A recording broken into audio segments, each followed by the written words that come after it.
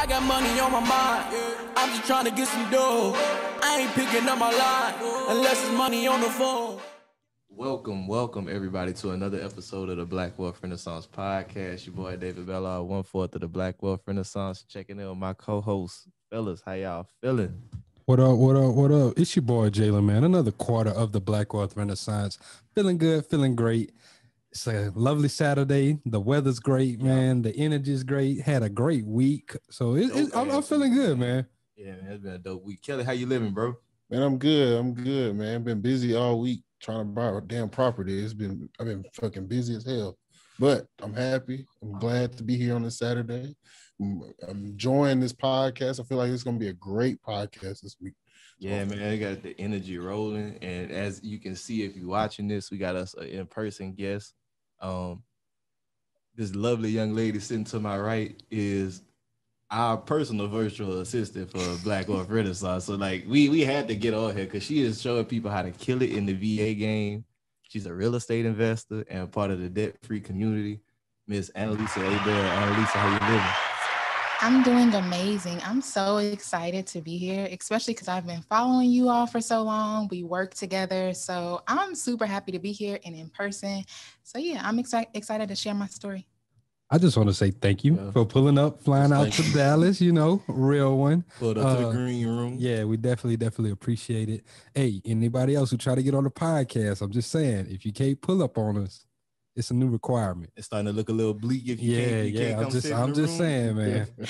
If you can't come sit with us, I don't know what to tell you. Yeah, but as Jalen was saying, Lisa, thank you so much for pulling up. Uh, so for all our followers, anybody that's listening that's unfamiliar with you, can you give them an introduction to yourself? Of course, of course. It's so hard to like define who I am, but if you all don't follow me on Instagram or Twitter, my name is Annalisa Abell. I'm originally from Kentucky. I currently live in Ohio. As they mentioned, I do invest in real estate with hopes to kind of expand my portfolio. So I'm currently a landlord. I own a virtual assistant and social media management agency called Elevated Assist, and we basically help uh, small business owners take care of the day to day in the background as well as ma- manage social media accounts. Um, I also am a content creator as well as a course creator. So I have several courses related to how to become debt free, how to make money anywhere as a virtual assistant, which is one of my most popular courses, as well as how to make six figures as a social media manager. Um, in addition to all of that, I currently still have a nine to five and I'm a healthcare administrator. So I work, I'm able to work remotely from home.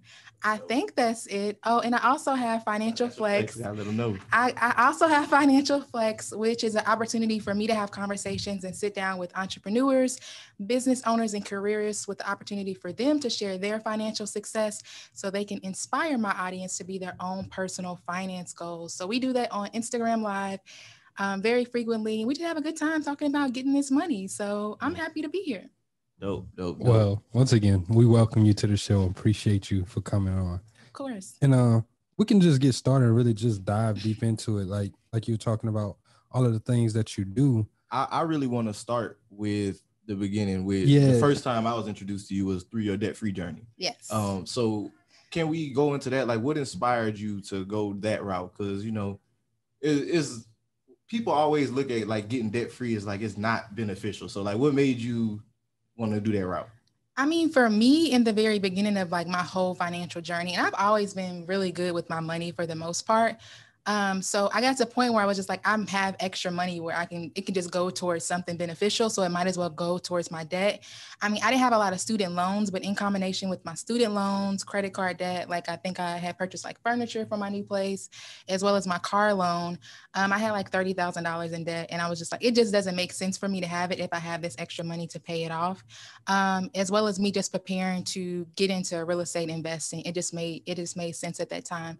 So I was able to pay off that debt and just um, lift that burden off of me and not be a slave to debt. So when you think about ownership and just owning things, I don't want to be owned by debt and be burdened by that. So you know, I it was step by step. It was a fairly easy, easy process. I mean, if you set your goals to do certain things, I mean, it's easy to easy to do. So So on that journey, what what was the first how did you attack it? Like, what was the very first loan? Maybe was it a credit card that you started paying off? Did you use the avalanche method, Mhm. snowball method? Like, how'd you attack that? I know y'all know about the debt-free methods. I love to see it. Um, so I started with the snowball method, and if you don't know what that is, it's basically um, tackling the smallest amount first, so you can get some of those quick wins. So I think it was a credit card for me. Um, I paid that off first, and then I think, I think it was car loan, and then it was student loans. And again, I mean, I was on scholarship for my bachelor's degree and even my master's degree, so um, I didn't really have a lot of student loans.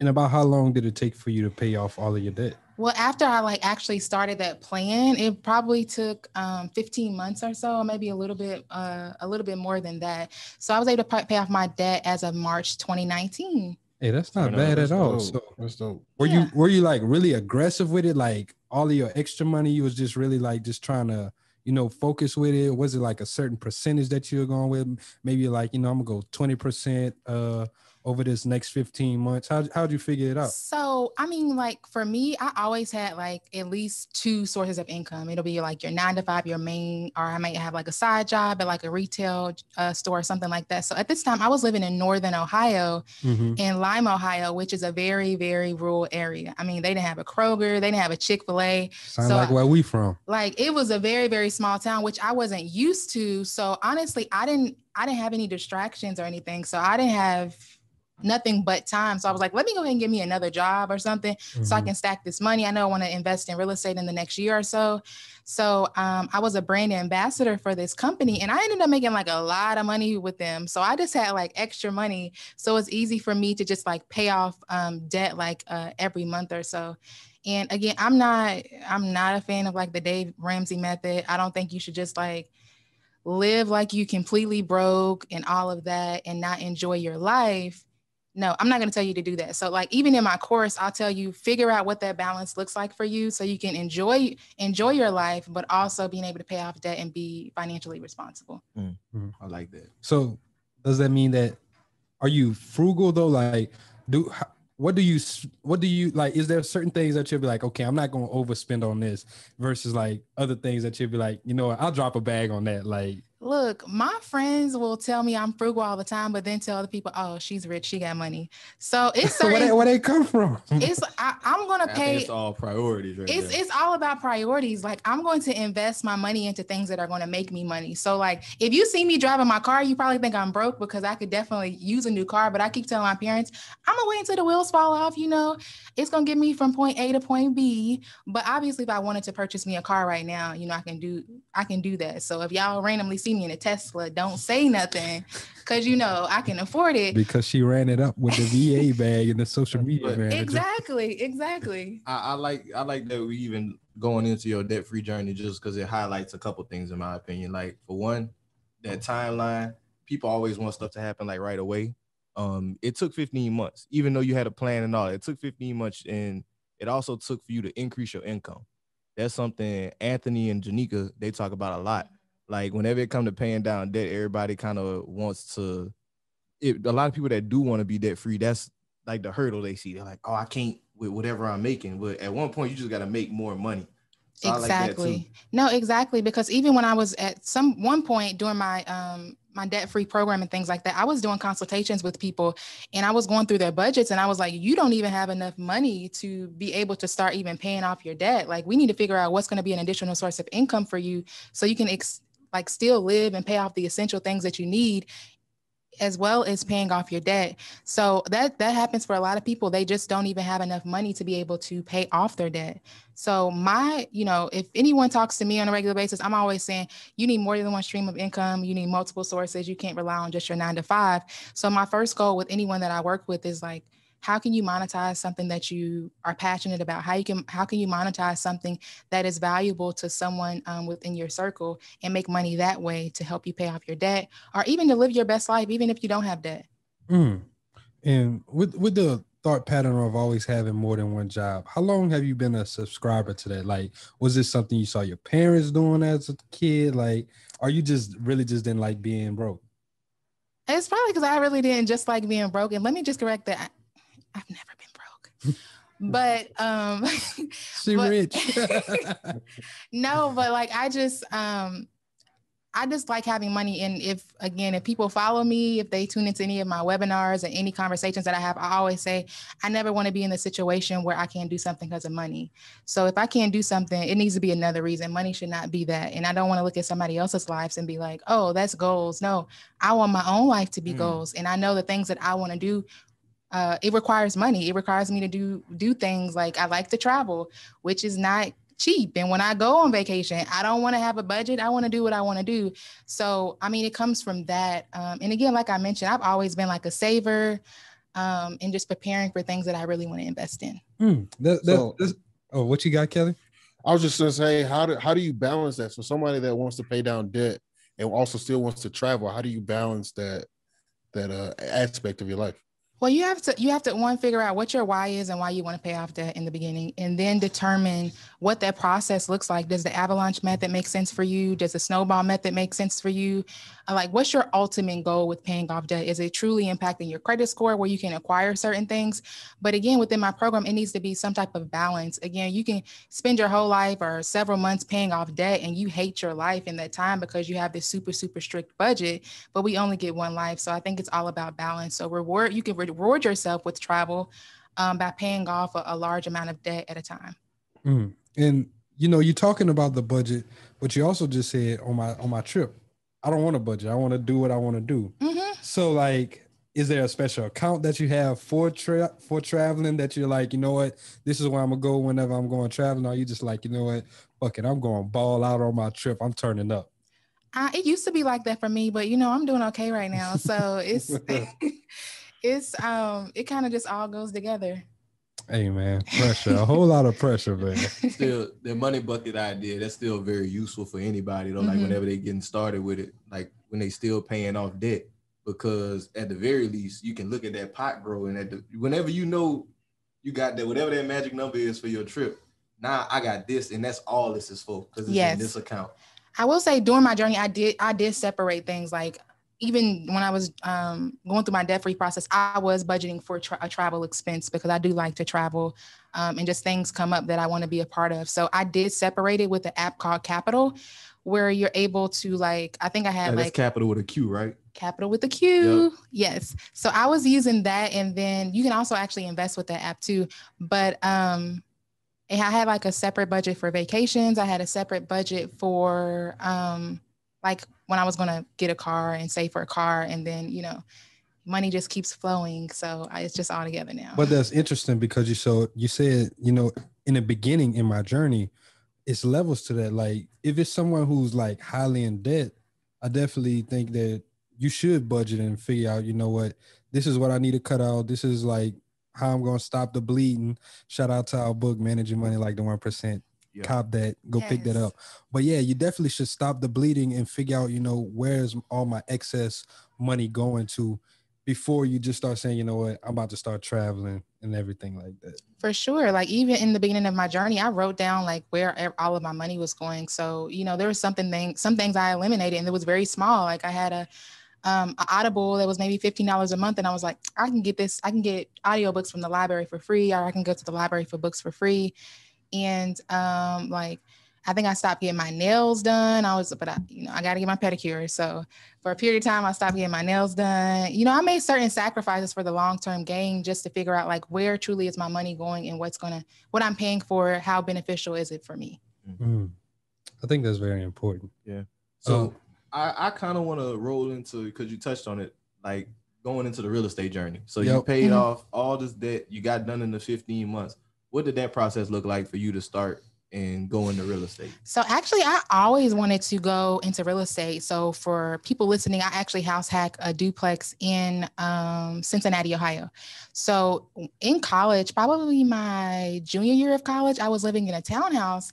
And like I had three other roommates, and we would all put our money together. And I was like, we sending this check off to this guy every month. And I was like, paid. he's getting paid because we it was multiple units within the complex. And I'm just like, oh, I need to figure out what he's doing. Like I knew nothing about real estate. I just knew he was getting money on a reoccurring basis. And so I needed to figure out like what is he doing? So I started to research and I kind of learned about house hacking and living in multifamily units. But I was living in Lexington, Kentucky at the time. And there weren't very many multifamily units. So after moving from Northern Ohio to Cincinnati, and if I don't know if you all been in Ohio before, but there's a lot of multifamily units everywhere. So I was like, this is a prime opportunity for me to um, find a duplex, find a triplex or something and house hack in that way. So when once I moved from Northern Ohio, my brother had already been living in Cincinnati. So I actually lived with him for three months because I was like, at this point, I never want to pay rent again. I'm never going back. so I lived with him and his uh, his wife, who, who's now his wife. Um, for like three months and Lord, they got kids. Like that's temporary sacrifice. If you need to learn anything from that, temporary sacrifice, because it was um uncomfortable.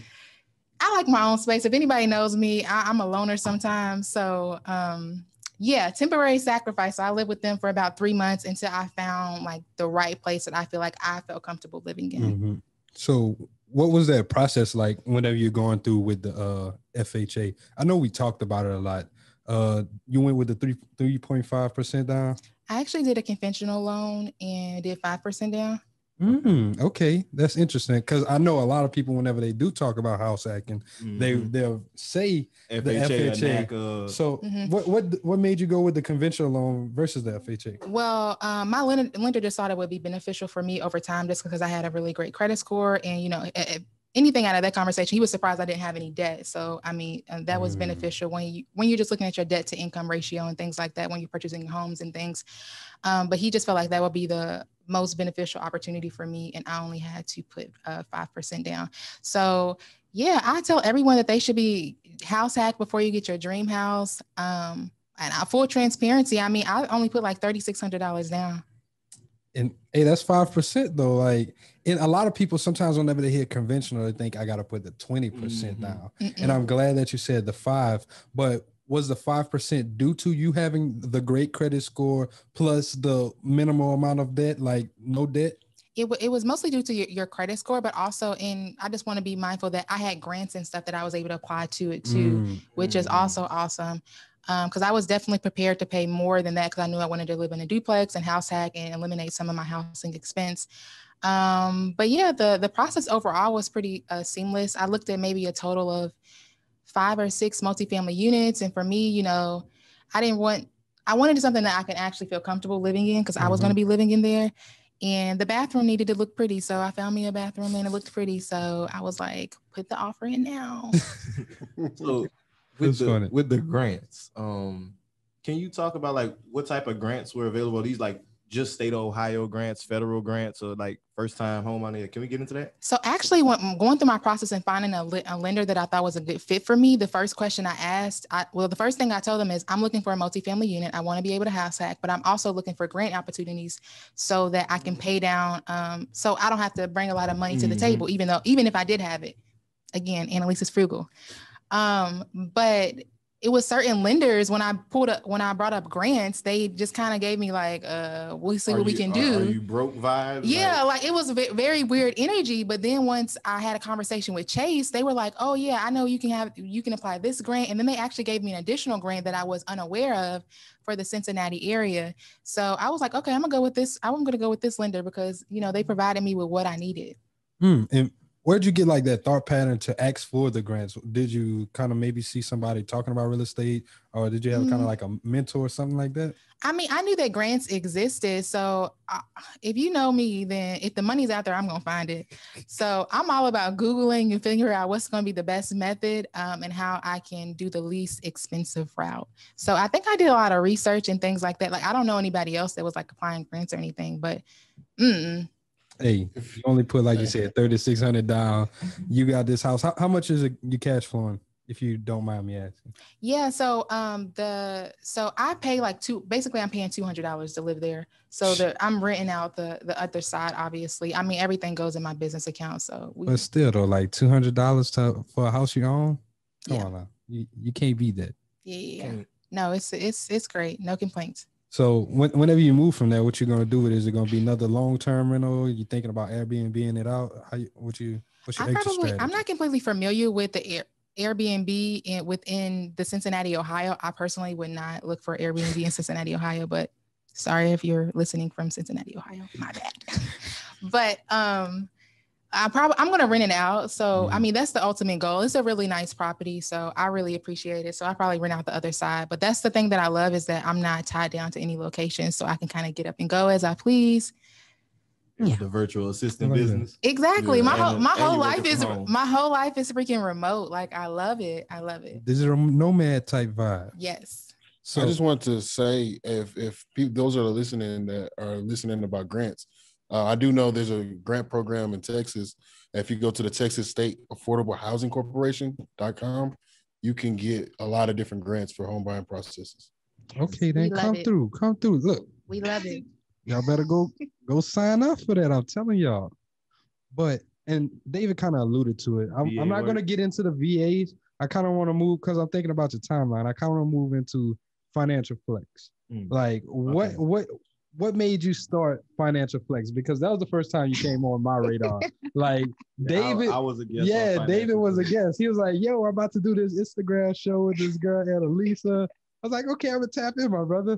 And I was like, "Oh, this is pretty dope. I like it." So, what what inspired that? How how'd you get that? So it's interesting. I was talking to a guy at the time, and he was, and anybody that comes in contact me with me, I'm always talking about like finance related things because you know I want us all to be free. It's not even about money; it's more so about freedom for me. Mm.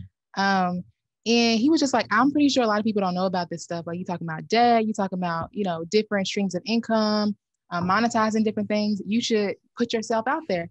And I'm like, okay. So I actually my first uh, live was probably last year around this time. It was with um, someone that's my sorority sister, and she had her own. She was on her debt free uh, journey, and I had already paid off my debt.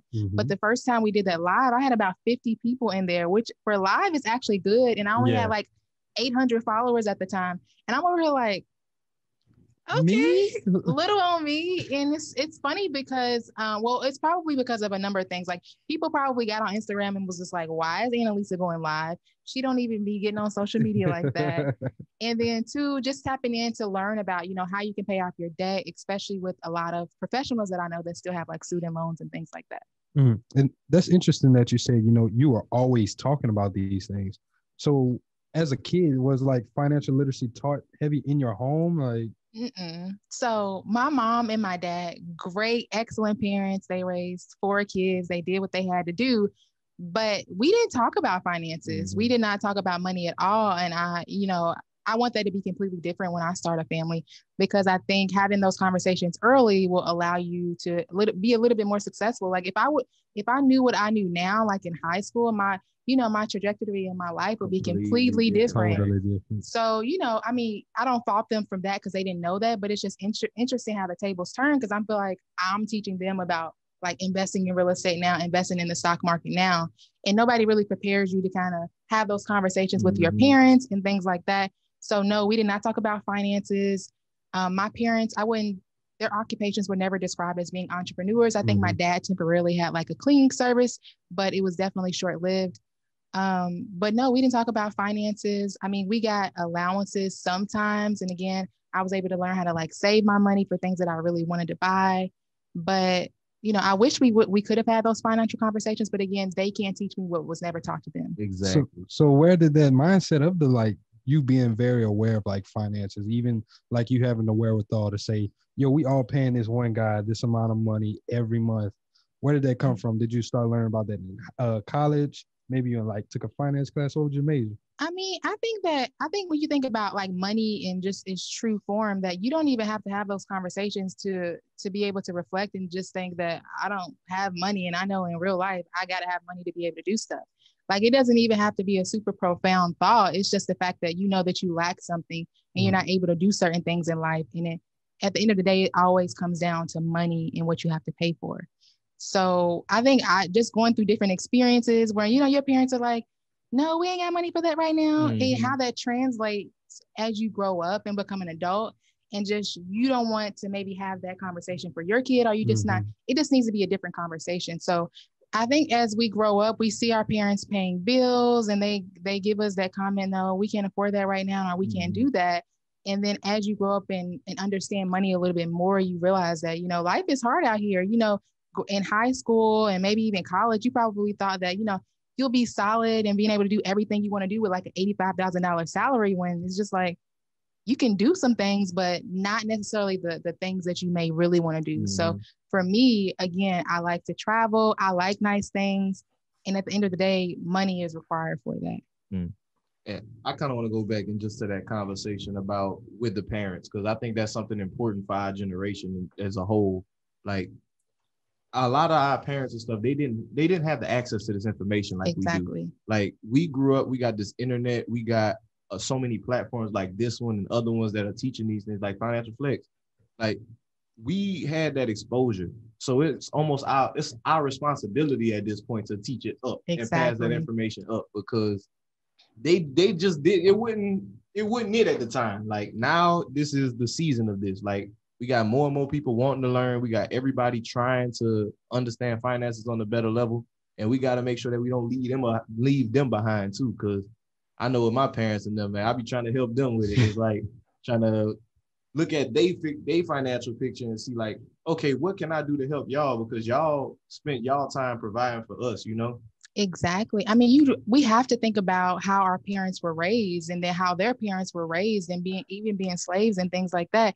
Their mindset is going to be con- completely different. So when we think about transitioning and getting on some type of financial journey and saying, you know, I have an abundant mindset, I have a growth mindset, that transition for them is going to be completely different just because of how their parents probably raised them mm-hmm. and having the whole slave mentality, meaning that I'm going to get me a good job, I'm going to work there for 40 years. And like that's life for them. Mm-hmm. Whereas when I have conversations with my parents, the idea of working for one place for 40 years sounds terrible to me. I have no idea why someone would want that. like it sound it sounds terrible to me. And you know you just have to think about like how they were brought up and how they were raised. And in the environment that we are raised we have access to so much information with the internet and being able to google different things and different ideas. And they didn't have that access to be able to do that type of that type of thing. So again i don't fault them for the things that they didn't teach me. Um, i appreciate being knowledgeable about certain things in certain spaces to be able to teach my parents that. But transitioning from again i hate to say that slave mindset um, and thinking that you might owe the owe the community something or feeling like the government's going to save you when in reality it's not it's not that. So having those tough conversations with my parents and trying to get them to shift their mindset um, it's challenging but i think it's worth it. Hmm. okay. I like it. And i, I kind of want to go back to financial flex. Uh, jumping back you know you done your first episode. You had the 50 uh, people on live did you immediately do another one the next week and then the ball yes. was just on? Yes. So let me just go ahead and give my flowers to all my special social media friends out there that be supporting me because I don't even know you all. But y'all definitely be sharing my content. And it's at the point now with Financial Flex that people are like, so who's going to be on next week? Or can you get this person on? Or can you get someone to talk about this? So people are getting excited about it, mm. which I appreciate and I love that. So I love going on live. Um, but now that my schedule's getting more busy, I'm trying to transition to figure out what's going to be the best method for me to be able to get this information to the right people um, so they can be able to execute and be their own personal finance goals. Um, so I did do an episode like immediately after. It was pretty consistent for the most, yeah, it was pretty consistent for the most part. Um, and again, I get the opportunity to learn from like industry experts. Yes, mm-hmm. I invest in real estate, but I don't. I wouldn't define myself as an expert. Mm-hmm. So I'm able to to learn from other people. So it's a it's a win win for everybody. Mm, that's interesting. I like that. I like that. So. I, you got any more? Fi- I know you want to go into financial flex a little bit. Nah, I, I, I, was about to say I actually want to move this, into entrepreneurship this, now. This yeah. elevated assist. Yeah, man, yeah. I want I want to know how that how that started. I want to let because but first, you gotta let people know.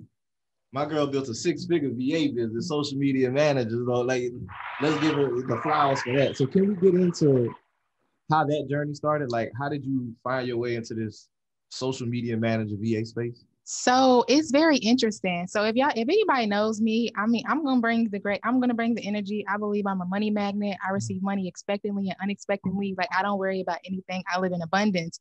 So I this out of nowhere, Andre Hatchett, who's been on you all's podcast. Shout out to Andre. The goat, the goat. He actually had reached out to me and said, Do I do admin work? And you know, me, I'm like, okay, sound like another stream of income to me, bet. So I started working with him. Um, and then after just working with him, I'm like, oh, let me research and like, is this a is this a legit business? So you know, I researched more about starting a virtual assistant business and I understand the needs of social media for business owners. So I created Elevated Assist last year. Um, and it's been booming. Like word of mouth is amazing. I barely do any marketing for it. And then I always have a consultation and I'm able, what I love about it is one, I'm able to um, help entrepreneurs that look like me, and I'm able to help them succeed within their business by taking some of those tasks off their hands. So it's definitely not just me. I definitely do have a team, which is amazing. But to see the growth process in it is unbelievable. In addition to the education aspect in starting the digital product in the digital uh, in the virtual program of how to make money anywhere as a virtual assistant with my students, I have students that took my course and in 30 days they had three clients. Oh wow. So when I tell people you need to tap in right now more than ever, the time is now to be able to make money remotely. Again, I love to be able to travel and still being able to make money and do work. I, I love that I don't have to be secure at one solid location. If we didn't learn anything from 2020, 2020 is that people can do their jobs at home. That's a fact. That's a fact. And if you can do it at home, you can do it from anywhere. Exactly. So um, I think being a virtual assistant, like people always ask, what type of education, what experience do you need? You already have the tools that you need. Pull from the prior work experience that you have, pull from what you learned in school, and monetize that and package that correctly within your virtual assistant um, business. So that's kind of the, some of the things that I teach in my program. I currently have over 250 people within my virtual assistant program and it was actually just recently launched in January. So that's defi- on, that's definitely amazing. So Come I'm on. I'm so excited. I'm super blessed. And we just recently launched our pre-sale for how to make six, six figures as a social media uh, manager. Because I've learned that a lot of people that have consultations with me, they may not necessarily need a virtual assistant. They need a social media manager. They realize that it's very important to have that social media presence for their business online, but they don't want to do it. They don't have time to do it, and their time's a little bit more valuable. So now I'm in the process of starting a master class at the end of the month to teach people, you know, how to create really good content within Canva, within those uh, graphic design spaces, so that you can market yourself correctly to be a social media manager. Come on, So man. okay, a whole lot yeah, of can, pressure. can we get into the differences between? Yeah, I- I wanted to- Yes, VA and a Lord, let's talk about What it. What is the major difference? let's talk about it. Like realistically, realistically, you can't. People hire virtual assistants to do social media social media management work, and it's actually really challenging to try to do both. So you want them to focus on admin and secretarial tasks as well as create content. Just just managing your someone's Instagram account is enough, especially if you have as many followers as Black Wealth Renaissance, and y'all stay in their DMs, asking all kind of questions like going through the DMs in itself is, is a lot of work. So the difference is the social media manager is strictly social media related. Okay. The virtual assistant, virtual assistant can look different for dep- depending on what the business is, but it's basically remote work, admin work, responding to emails, providing that extra customer service level for your business. Um, but honestly, if you if you have the capacity to hire a social media manager and a virtual assistant, do it because it's truly hard to kind of manage both. So, who is being a virtual assistant for? I know you just said you know you can pull from your previous Mhm. work experience, but not everyone was in the office environment. Like, who who who do you think this is the ideal person that should try to transition and become a virtual assistant? Yeah, I actually always talk about this in my webinar. So to be a successful virtual assistant is probably someone that has um, that's okay with working from home. One, if you had to work from home or work from anywhere, obviously, but you have to understand your relationship with between you and the business owner. Again, I've never met. I've only met one of my clients, and that was like last month. But before that, I had met none of my clients. And you need to be able to take instructions virtually and also be willing to learn their business. Yes, you can bring a certain skill set to them, but you're not going to know everything about their business. Like working with Andre Hatchett over the Notary Business School, I'm not a notary. I don't know everything about being a notary, but you have to be willing and open to take that instruction because you need to be figure out how you can add value to their business so they'll be willing to keep you around. So Mm. someone that's willing to take instruction, someone that's okay with working remotely. Um, if you already are maybe like a stay-at-home parent or you're a student or something like that and you need some extra cash, is virtual assistant can be perfect for you because you can, I mean, you can make full-time income on part-time hours if you really know how to do it. Yeah, I was just I was just about to ask you like how how busy are you actually whenever you're doing this type of work? Uh, it just really depends. Go. So I talk about in my in my um, course on how to make uh, money as a virtual assistant anywhere, like how to package your prices where it makes sense for you because ultimately you need to be striving to add value to that business owner. So you could be working um, like 10 hours a week making $250 a week. Hey, that ain't bad. That ain't bad at all. and then what's what's wonderful from that is again a lot of there's a lot of apps that are compatible where you can just do things from your phone. So i like to call it wi-fi money. So you can make money wherever there's a wi-fi location. And again this is a virtual business so you don't necessarily have to have access to um, i mean you have access to everyone in the world. So i even have a client in germany. So don't think that this is maybe an oversaturated market because you see everyone with the virtual assistant business. You got a solid five to ten clients you good. I was I kind of want to go into the the uh, business owner side of it. When you're hiring a virtual assistant or a social media manager, what is really important to kind of have in place whenever they're getting hired on, and so you can have the implementation very easily. That is an excellent question because building a team, anybody that's currently building a team may know that that is easy because you never, kn- I mean, that's difficult because you never know if they're going to be the right fit for your business and your business model.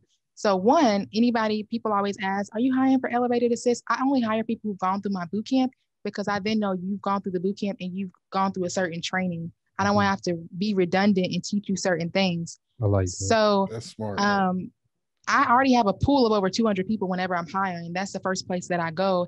And then I, I interview them and identify, you know, what qualities they have. A lot of people, some of these people have master's degrees, bachelor's degrees. They are very skilled and they're looking for another uh, additional source of income. And the fact that I'm able to put money in other people's pockets really excites me as well. So it's all about um, seeing what their capacity is and if they make sense for that client, right? So even if I add them to my add them to my team and I think they're great, they need to be able to fit well with my client that I'm hiring them for. I like how you already kind of like And I don't, I don't, I, yeah, I was about to say, I don't know if you know it, but you already like vertically integrating off the rip. Like you got you your own school, and now you're able to select from who's went through your school. So that's that's a very smart move on your end. Thanks. So, okay, I got one more question with the VAs. Uh, you mentioned like getting these clients, and you didn't really have to do much marketing to continue to get the clients. So if I'm a person, I'm just getting my VA course. I'm just I just took the VA course. I'm trying to get my first clients. What would you recommend I do? Like, well, how would I go about that? Well, first, how you have a virtual business? How do you look online? Do you what is your Instagram page? What is your Twitter page? What does your Facebook page look like? You now have an online business, but what is your if someone if someone was looking for a virtual assistant, are you are they able to access you by going to your Instagram? Not even talking about a website yet, because again, Elevated Assistance is doing very, very well, and we're still working on the website. So what do you look like online? Are people able to find you? I always tell people you need to make sure you're positioned correctly so that people can find you um, to set up a consultation, set up some type of discovery call to ask about your services and your business. So if you don't want to do any paid marketing, market yourself correctly on Instagram. Again, I have a student that got three clients after 30 days, and all she did was create a Instagram page. Wow. So, like, are there specific things that they need to be looking for to like, I guess, optimize the Instagram to let people know? Like, are you like putting certain things in your bio or like making like links available to where they can buy? Because I know you said you did it without a website. Yeah. So within my uh, within my course, I we have a whole section about marketing. How you can you market yourself for a low cost? Because again, I always tell people, I don't want you to spend a lot of money until you start making money to be able to reinvest in your business. So Mhm. we not even i'm not even telling you like okay go ahead and run and get an llc no because i want you to be a profitable business before it makes sense for you to to get an llc and things like that a lot of people will spend so much money getting a website getting your llc and you ain't even got a client yet Ain't made no money. make it make sense. So for me, I tell them like use social media, right? Make a list of every business owner you know. I'm not saying that you got to know them personally, but make a list of every business that you know of Mm. and reach out to them and see if they need a social media uh, manager or virtual assistant or something like that. So yeah, we talk about ways in my class um, on how to be creative, how to reach out to people. It comes with templates and things like that. So Mm. It- what's what's like the threshold of clients you would typically need to make like the six figures, the six figures in it? It all depends on your payment package, and social media management is going to be a little bit different from a payment package perspective because if you're creating content for people, you could create a content calendar for them for like 30 days out, but you can do that from a series of clients and just all do that work, like get all that work done in a series of days and be able to batch uh, batch your clients very very quickly. And then sometimes the price point is a little bit different for that depending on different services that you offer. But for like say a virtual assistant um, again, it depends on your price package. So the way that I talk about price packaging in my course is all about how many hours are set up per month that they want to sign on to. Okay. And then again, but you have to be re- realistic in what type of value are they getting from you for you to be able to pri- uh, price it at a certain amount. I always tell people elevated assist is not the cheapest option, but if you want a valuable service, if you want somebody to help you get additional exposure and things like that for your business, then elevated assist is for you. Hmm. And do you get like weekly meetings with uh with y'all? Like what's all in some of the other services that's like standard, not the tailored stuff. I'm, I'm like for elevated for assist. No, for sure. So again, we want to make the life easier for the clients. So during my consultation with them, I asked them, how do you like to communicate? Does it make sense for us to meet on a weekly basis? Mm-hmm um, do you want us to text you, emails, calls, and things like that? So, uh, in the beginning, we do a lot of conversation with my clients just to make sure that we're understanding the needs and expectations of the client. Um, and also, we don't want to be a burden to them. They didn't hire us to be a burden, but to take some take some weight off of their shoulder. So we need to figure out, you know, where we fit the best and how we can um, help that business overall. Mm. Hey, that's that's that's major, very very major. Yes. Wi-Fi money, get you some. So what what can they get this course? So again, uh, the best way is to follow me on Instagram at Just Annalisa, J U S T A N N A L I S A. And it's going to be a link in my bio. Um, it might, I don't, it might be on sale right now. I honestly don't know, but um, you definitely take advantage. I, it's, it's highly recommended. I've gained, I've gotten really good reviews. Again, as I mentioned, I'm getting if you don't plan to execute, please don't take my course. It's only for people who's willing to actually make money remotely. I don't I don't want your money if you're not willing to execute. So pay for the course, do exactly what I tell you in the course, and you'll get clients. Hmm. So with you being an entrepreneur, what's been one of the most difficult things as being the owner now of like virtual assistants? Time. I need I need time back. So this time next yeah, year, and you're still working a full time job. So like, how, how, let's go into that. Like, how is this all working together? I mean, I know people look at my Instagram page and they think life's great, but like, Lord, I'll be tired. Okay, I'll be tired. I work a lot, but I know it's temporary sacrifice for a long term gain. So, um, yeah, it's it's gonna be like this for the next couple of months. The overall goal is to automate processes to eliminate, you know, some of the long the long processes that I currently have now with mm-hmm. Elevated Assist. We plan to ex- uh, expand very largely by the end of the year um, and continue to be a very profitable business. Yeah, um, it's I'm tired. I mean, I don't know what else to tell you. I mean, some some, days, some days I'm able to give 110% uh, to elevated assist. Um, some days I'm not able to, but luckily I have an assi- I have an assistant for myself, mm-hmm. my own personal life again, get you an assistant, life changing. Um, and I have other people on my team that's able to to take that burden. So now that I'm starting to build my team, it's getting a lot better. Um, so I'm perfecting it and making it better along the way. I appreciate people helping me during my building process and willing to work with Elevated Assist. But yeah, it's a, it's a temporary sacrifice. So you, you're saying it's a temporary sacrifice. Like a lot of people, they hit a hundred thousand dollars, like they leaving the job. They think the race what's, is yeah, over. what's what's what's keeping you no, there? No, I'm not leaving the job. Uh, uh, no, I'm not leaving the job with a hundred thousand dollars. Look, that might be a lot of money to some people. That ain't a lot of money to me. So I mean, I it's so let, let me just paint the picture for you. Like I need to be able to do certain things. Again, I already told you I like to travel and things like that, but my mom's still working. So until I get to the point where it's just like, you know, mama, you can go ahead and fire your boss. I got you. Until I can say that, then we're gonna keep on working hard and keep on making it happen. And I still it's still things that I want to do. Mm. And hundred thousand dollars is definitely not going to get me there. Not in 2021. No, not at all. Not at all. And, and for some people, it works for them. But for me and the life that I know that I want to live, that's the question you have to ask yourself. What kind of life do you want to live? What do you want that life to look like? Hmm. Um, and I don't even got kids yet. Like that, no, I can't do nothing with that. Sorry. So until you get retired, your mom, you gonna still be at the job, or is just until Elevated Assist hit a certain threshold? I'm gonna be at the job until they fire me. hey, I love to hear it. I But mean, the severance It's- it's severance package know- don't sound. Yeah, like it's good to know that you know. You know what? I'm, I'm gonna be there. It's some for show money. They're Yeah. gonna take You care of my work from health home. insurance, like all of Mhm. that stuff. Yeah, I'm gonna be there until I can't anymore. Um, I, I wouldn't mind a severance package. So, you know, we gonna we gonna keep doing this thing. I'm not leaving no money on the table. okay, so Annalisa, we want to ask you, um, what's something that you've seen on your timeline? It could be anything on social media, the internet, anywhere. It could be news, uh, anything that like stood out to you that you just want to speak on. Yeah. So Aisha Sheldon, I think she posted on Twitter. It might have been an old tweet where she said something about like in quotations, money doesn't buy you happiness. And then she said poverty doesn't either. And I Hmm. think we really need to have a conversation about that because people always say money doesn't buy you happiness or people are money hungry. But last time I checked, poverty don't look great to me. Show on. So I don't. They they can say what they want about you know LLC Twitter or people like forcing entrepreneurship down people's throats, but we have to understand like the the way that our society is set up in America, it's going to benefit entrepreneurs and business owners more than it's going to benefit employees. So as much as people want to talk about you know people with businesses and LLCs, like it's really changing people's lives out there. With my virtual assistant program, like people tell me all the time, like. Girl, my life has changed. Like I Mm. look at money differently now. And what I tell people during my webinars, your nine to five is very likely they're not going to pay you what you're worth.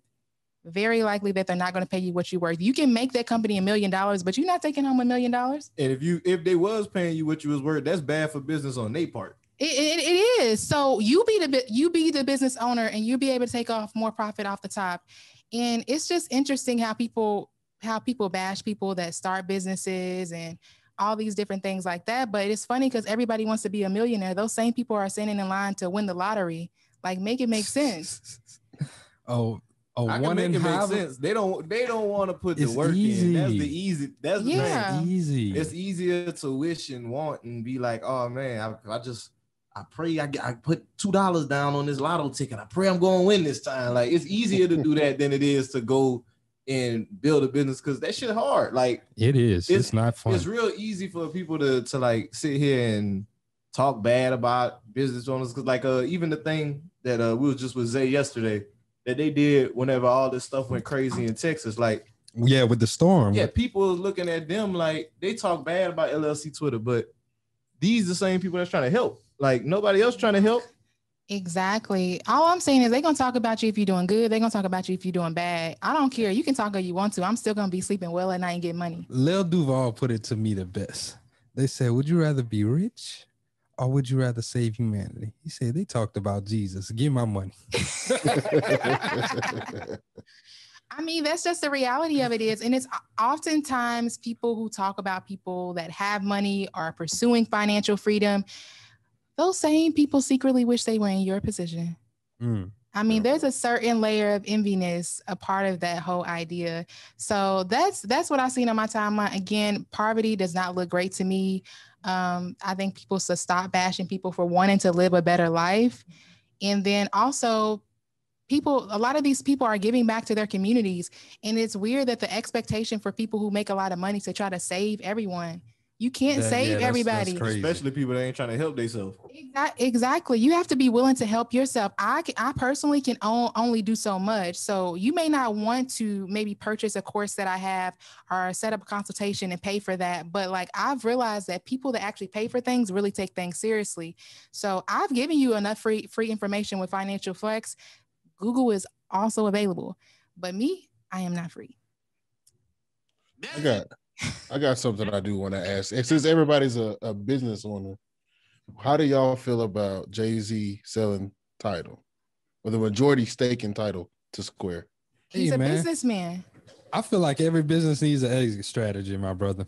What's I'm trying to figure out what's the like issue. peop, peop, a lot of people was tripping on that, but they Yeah. also don't realize the overhead that it was taking to run Tidal. Exactly. There's always there's always an opinion on what a business owner should do but until you've actually ran a business i don't think you should really talk about anything like I until until you understand what's what overhead is what it's like to pay for this pay for that just so you can start generating some money like it's different like I, and I think that was a great deal. Like he bought it for very cheap, like 12 million, something like that, and ended up selling his majority stake for like 280 something million. Yeah, it was like 297 million, and then it jumped to his net worth for like 40 percent. Like, Damn. What's the issue? I don't if- understand. if Jeff Bezos did the same move, what he- what would he have been? A genius. I think is because our people, we still we have a misunderstanding of all this shit. Like But it, they thinking that Jay Z sold this, so like now he don't have no rights within it. He don't because and he's still tied to Tidal. Like yeah, he still has some type of ownership, but he just sold majority stake in it. most of the most of the people talking about this don't don't even got Tidal on they on their mm. phone. So like No. move along, like move around. that's some real shit. I, and Yeah, I I know mean- for sure I'm, I don't have Tidal. I got Apple Music. I I know you. I, know have you're a Tidal user. I have Tidal, but that's what I'm saying. Like everybody wants to be super critical of black entrepreneurs, and that kills me. That kills me. Like, why are we being overly critical of these people when you see somebody that's not black doing the same thing and y'all don't say nothing, you're silent. Mm. Like, what's the, I don't understand the issue. So so these people on Twitter tweeting about what Jay Z is doing, I don't really feel like they have any fight in the, artic- uh, the argument. One, because they probably don't even have Tidal. They didn't even support him in that space, and they probably aren't entrepreneurs and can't see it from a business from a business perspective. We don't know what he's doing with these extra dollars. We don't know how he's going to reinvest it back into our community. That's a fact. Big facts. Well, I get tired of Annalisa. niggas on Twitter, man. They do the most. They do a whole lot of them talk. Niggas. They, just do a be whole lot of talking. talking. I don't even want to talk about them bird app people, y'all. Yeah, they, they they ain't about to mess up my energy. I'm about to take my practice Sierra taught me last week. Oh, oh, you about to you about to be real zen? You about to be zen the fuck out zen? Zen. Nah, I let all that negative energy out. Fuck that. it's definitely some weirdos on Twitter that like to see themselves talk. And They just like to I'm not argue with people. Literally. Yeah. mm, I like- block people. There's power in blocking. I'm gonna tell a quick story, man. Cause I got I gotta let it be known. I block people. So like when I was like 14, whenever Twitter was like first popping off, like I this is why I don't understand cyberbullying. Cause like they had a dude, he had got on my ass, like he was he was ro- he was roasting my ass, like it was bad. He, he told me I look like Sean Kingston mama or some shit like that. That nigga was on my top, so and I got mad. I'm like, man, man, I'm so upset at these people. And I just blocked this nigga. I was like, you know what? Power, Wha- power and blocking. why why don't people do this more often? Like if you just block somebody, especially they on some bullshit, you could protect so much of your energy rather than engaging with that person. Mm. And and I think it speaks to a lot of people not wanting be wanting to be the bigger person. Uh, even like with video games, when I was younger, man, people would bully like on Call of Duty and stuff. I just turn off the mic. I'd be like, "You you want to be an asshole? Fuck you! We're You not gotta listen that. to this shit." Yeah.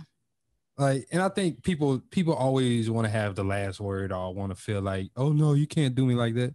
Just be the bigger person and walk away. I, I promise it feels so much better. Like you'll be like, "Oh, I ain't even give them the time of day." You like, keep the power in your hands. Yeah. I think the only time I got dragged on quit Twitter was when that you was were the first. protecting the black men. Yes. I remember that one. I can't hear. Oh, Can can you you hear hear? me? I Okay. can hear you. And that was the first time I figured out like what a pick me was. I thought I was dying. They told you it was a pick me? Yes, because I tried to support black men, but I mean it was definitely trolls. I don't even know how if these are like real people. But I mean, I'm gonna support my people, but that was hilarious. That was like the only time I got dragged on Twitter. Forget them. Yeah, good Yeah. times. Protect good your times. energy, people. Mute and block people is healthy. Yeah, it's definitely of that healthy. Thing. No, definitely healthy. But I mean, I love Twitter. It's it's a fun time. Yeah. Get rid of that. Well, yeah. Annalisa, we want to say thank you for pulling up. This has been a dope, dope a great episode. episode. Uh, can you please tell the people where they can follow you, how they can be plugged in with your services, or they want to get an elevated assist with VA service, or they want to cop one of your courses? Let them know everything. Of course, of course. Again, you can follow me on Instagram and Twitter at Just Annalisa, J U S T A N N A L I S A. You can click the link in my bio if you're interested in setting up a consultation for uh, with Elevated Assist. Um, as well as purchasing one of my courses if you're interested in starting your virtual assistant or social media management business. If you are a business owner grossing uh, several thousand dollars a month and you're doing it all alone, I'm telling you right now, getting a virtual assistant or social media manager will definitely change your life and we can help you elevate your business and take it to the next level. So I would love to work with you all. Hey, y'all tap that link. Hey, w- look, we're gonna put the link in, in the show notes so they can just yeah get the courses and everything. So y'all scroll down to the bottom, tap that link. Yes, make money on your own time. Yeah, There you go. Wi-Fi money. Yes. Get you some. But before we wrap this up, we'll get into a little house cleaning. Uh, thank you to everyone who tunes into the show weekly. If you are a new listener, thank you for coming in and listening to this full episode. We appreciate you. Hopefully, you got some valuable information from this uh, podcast episode. Let us know what you thought about it. Leave us a comment, a rating, a review uh, below wherever you're listening to. Hey, and if you've been rocking with the Renaissance for a long time, I want Oh, y'all to sign go up ahead. for the support too. Patreon. Yeah, yeah, support the yeah. link for the uh Yes. Yeah, y'all On join our Patreon. We have uh you can support the podcast on Anchor as well if You you, can- listen on there. And you can also, I was gonna get y'all if y'all want to be more tapped in with BWR, know what we have going on, all the new things that we got coming out.